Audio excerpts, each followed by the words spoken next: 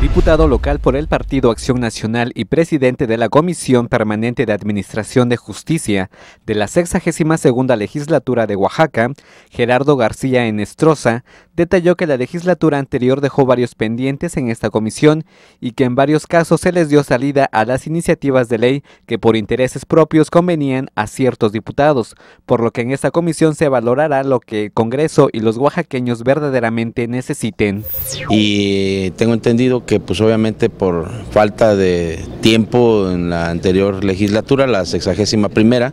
pues lamentablemente no, no pudieron sacar todas, sacaron las que más les interesaba,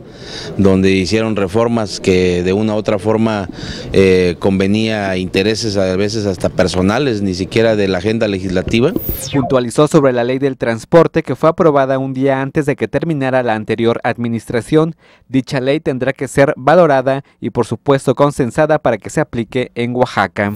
Hay una ley de transporte de la cual fue aprobada un día antes de que terminara la anterior, del cual pues simplemente se tiene que valorar, se tiene que consensar, se tiene, o sea, no puedes echar, no puedes aprobar una, una ley así nada más por aprobar sin que tengas el consenso de la gente de que verdaderamente se vaya a aplicar. Como fracción parlamentaria del PAN, nosotros vamos a, rescatar lo que verdaderamente le interesa al PAN, que haya transparencia en, el, en los tres poderes de gobierno y sobre todo, bueno, pues que realmente eh, los programas y todos los beneficios que tiene eh, el gobierno del estado verdaderamente lleguen a todos los oaxaqueños. El ámbito de la transparencia tendrá que ser revisado, analizado y en su defecto modificado, pues existen muchas quejas de los propios servidores públicos que ocupan esta área. Asimismo, los organismos autónomos y consejeros electorales, los cuales deben tener un término de gestión, puntualizó. Eh, mejorar en el tema del asunto de la transparencia, vamos a tener que hacerle algunas modificaciones, revisar exactamente quiénes son los que están trabajando eh, dentro de lo que tiene que ver con eh, transparencia del Estado y, cómo llegaron ahí, de qué manera fueron aprobados, porque hay muchas quejas de que hay gente que está trabajando que lamentablemente no, no cubre el perfil.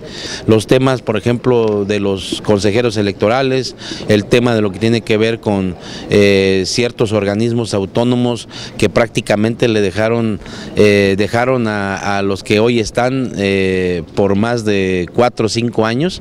de los cuales pues simple y sencillamente pues para salir beneficiados y que nadie los quitara, pues obviamente que lo hicieron a modo en la anterior legislatura. Con imágenes de Armando Guzmán para MVM Televisión, Celestino Chacón.